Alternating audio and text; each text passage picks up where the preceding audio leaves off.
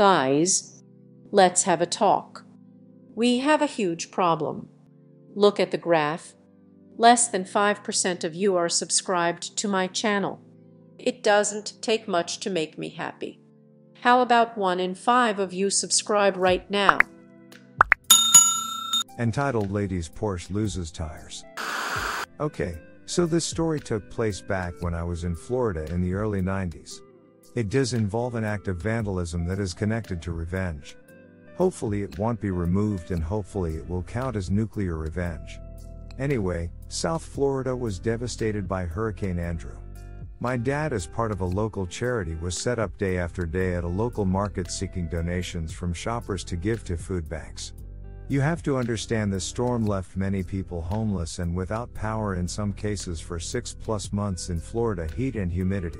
My father was legally disabled from a serious car accident. He was hit by a drunk driver in the early 80s and suffered from relentless hip and back problems. It never killed his heart or kindness to others, hence the charity work. One day he was about to pull into the disabled space at the local market to go buy a few items to donate to the hurricane charity. Right before he is about to pull in, this lady pulls into the space in this shiny red Porsche.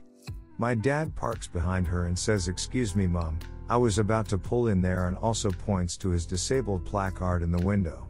She says to him, PFFT, you don't look disabled, and proceeded to walk into the store.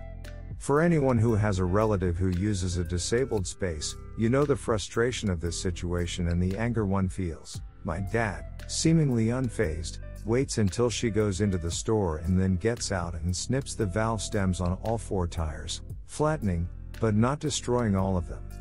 He then pulls into another space not far away and just waits. About 15 minutes later, the lady comes out and is shrieking about her car being vandalized. My dad is far enough away so she can't see him, but he can hear everything. She calls the police. Big mistake. She files a report for vandalism, and the police give her a ticket for being parked in the disabled space with no placard. About $250 at the time. The cops leave and she calls a tow truck. As the car is being loaded onto the truck, my dad pulls up and says to her, You don't look disabled, but your car sure is. And then drives off. My dad could be a nice guy and pure savage when he needed to be.